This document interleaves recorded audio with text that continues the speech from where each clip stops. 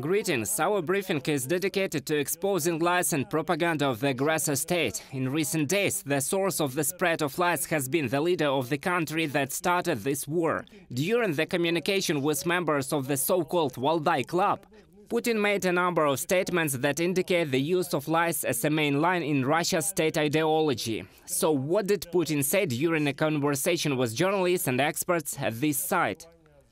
First of all, Putin actually curtailed the information propaganda operation promoted by Russia itself about the elite preparation of a dirty bomb by Ukraine.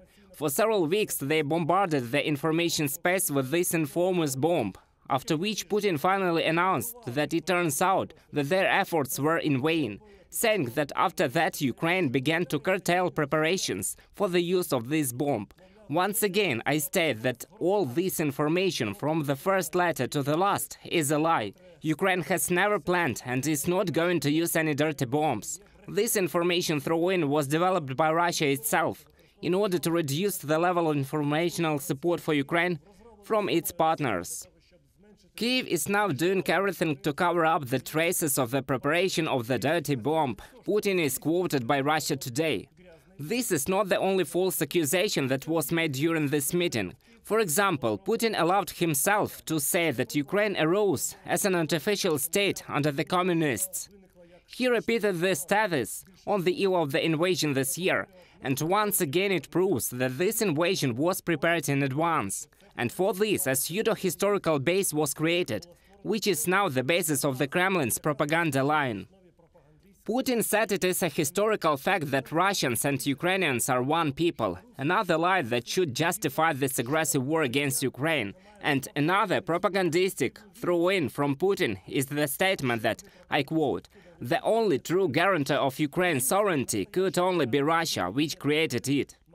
Russia, which attacked Ukraine, cannot in any case be a guarantor of sovereignty and can be a state that must pay reparations and compensations to Ukraine for the damage caused and also leave the occupied territories. Well, of course, Putin's statements is the height of cynicism. Right here at the Valdai Club, Russia today is quoted to the whole world for what he said. Unlike the West, we, Russia, do not enter someone else's yard. Meanwhile, how to call the military aggression that began 250 days ago against a sovereign state whose territorial borders were recognized by Russia itself during the reign of Putin's predecessor in this position?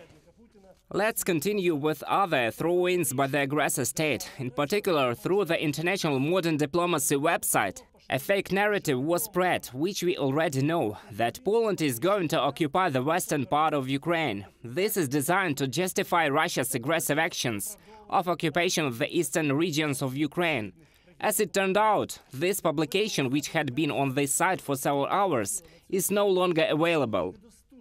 And this throw-in, a lie from the first to the last letter, did not even hold up on this website which provided a platform for other propagandists to justify Russian aggression.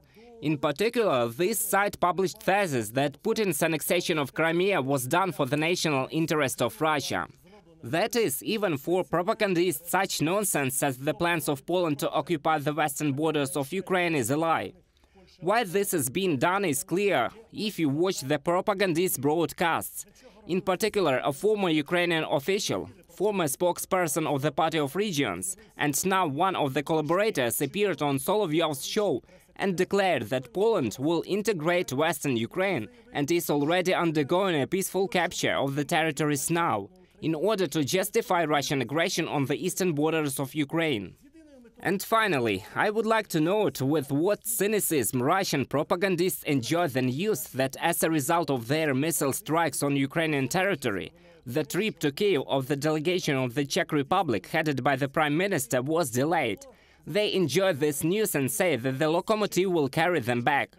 Thus, Russia shows that it is not interested even in the diplomatic framework, which should not affect the third parties of this conflict, in particular the European countries that have sent an international delegation headed by the head of the Czech government. And I hope that the visit of the Czech delegation will once again convince our partners that Ukraine needs the widest possible support from Europe in these circumstances. I will end this briefing with my traditional appeal not to trust the propagandist of the aggressor state, but to trust the Ukrainian media, the Ukrainian telethon, the Ukrainian local authorities and the military and political leadership. See you.